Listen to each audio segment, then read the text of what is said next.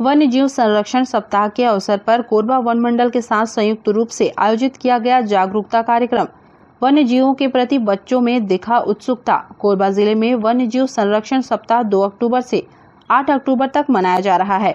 इसी कड़ी में रायपुर से आए नोवार नेचर वेलफेयर सोसाइटी, जो कि राज्य में वन्य जीवों के संरक्षण एवं संवर्धन का कार्य कर रही है, और कोरबा के स्नेक रेस्क्यू टीम, जो जिला में सांपों को सुरक्षित करने का काम कर रही है। जिला मुख्यालय से 25 किलोमीटर दूर शासकीय उच्चतर महाविद्यालय मदनपुर में जागरूकता कार्यक्रम आयोजित किया। इस क्षेत्र में कार्यक्रम करने का मकसद था कि आसपास में किंग कोबरा बड़ी संख्या में देखा गया है, जिसके लिए आसपास के बच्चों को जागरूक करना बहुत ज़रूरी है। सभी बच्चों को सांपों से जुड़ी जानकारी के साथ ही सर्पदंश होने पर क्या करना चाहिए और क्या नहीं, इसकी भी जानकारी दी गई। इसके साथ हाथी से जुड़ी जानकारी भी दी गई, क्योंकि आसपास का क्षेत्र हाथी प्रभावित है।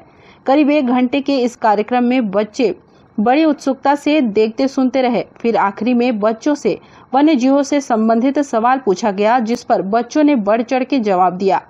जवाब देने पर बच्चों को चॉकलेट के रूप में इनाम दिया गया। इस अवसर पर शासकीय उच्चतर माध्यमिक विद्यालय मदनपुर के प्रिंसिपल बी आर राठिया, व्याख्याता Pasarkhet range officer S Marawi सहित स्कूली बच्चे और ग्रामीण मौजूद रहे। ये संरक्षण के तहत जो कार्यक्रम आपका किया गया यहाँ पे बहुत ही सराहनीय कार्यक्रम है। इसमें बच्चों को, हमारे विद्यालय के बच्चों को खास करके बहुत सारे ज्ञानवर्धक जानकारियाँ जो प्राप्त हुई हैं, जैसे सांपों के बारे में जो जानकारी आपने उपलब्ध कराई है, उससे बच्चों को सांपों के बारे में जानकारी मिला और कौन से विषय हैं, कौन से विषय नहीं है, इनके बारे में भी जानकारी मिली। इससे बच्चों को क्या फ़ायदा होगा कि वो अगर कुछ इंसिडेंट होता है तो सूरत में कैसे काम करना है, कैसे उससे बचना है, उसके बारे में जानकारी उनको प्राप्त हुई है। अभी हम लोग जो है कोरबा वन मंडल में दो अक्टूबर से लेकर आठ अक्टूबर तक वन्य प्राणी सुरक्षा सप्ताह मनाया जा रहा है। इससे संबंधित हम लोग जो है वन्य प्राणी से संबंधित अपने जनता को वन्य प्राणी से संबंधित जागरूकता अभियान चलाया जा रहा है। इसमें इस कार्यक्रम के तहत हम लोग आज हायर सेकेंडरी स्कूल मदनपुर में आकर और हमारे साथ में वन विभाग की टीम और नवा नेचर वेलफेयर सोसाइटी के द्वारा आज स्कूल के बच्चों को बहुत ही अच्छे ढंग से उनको जानकारी दी गई, जिसमें सांप के बारे में जानकारी दी गई कौन कौन से प्रजाति के हैं और कौन कौन प्रजाति के ज़्यादा विषैले होते हैं और विषैले नहीं होते और सांप जो है, काटती है। तो उससे किस तरह से बचाया जाए? किस किस सुरक्षा के उपाय बताया जाए? उस तरह से हाथी के संबंध में उनको उनको जानकारी दी गई।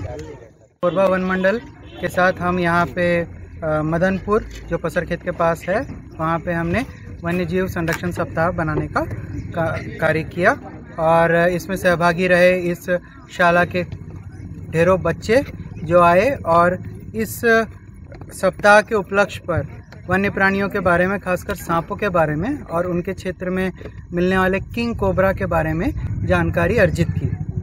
इसके उपरांत इस कार्यशाला के ऊपर बेस करके हमने कुछ प्रश्नोत्तरी किया और जवाब जवाब देने वाले को हमने फलस्वरूप इनाम भी दिया। तो कुल मिला के ये कार्यशाला एक अच्छा रहा और इन नन्हे बच्चों को, ये जो देश के भविष्य हैं, इनको वन्य जीव संरक्षण के दिशा में आगे बढ़ने के लिए मददगार साबित होगा, ऐसा हम आशा करते हैं।